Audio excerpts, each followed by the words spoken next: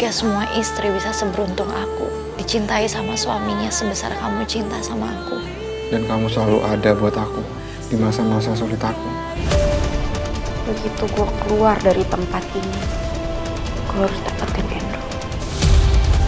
Aku gak nyangka papa itu gak pernah benar-benar mencintai mama. Saudari Vera, Anda dibebaskan dengan jaminan.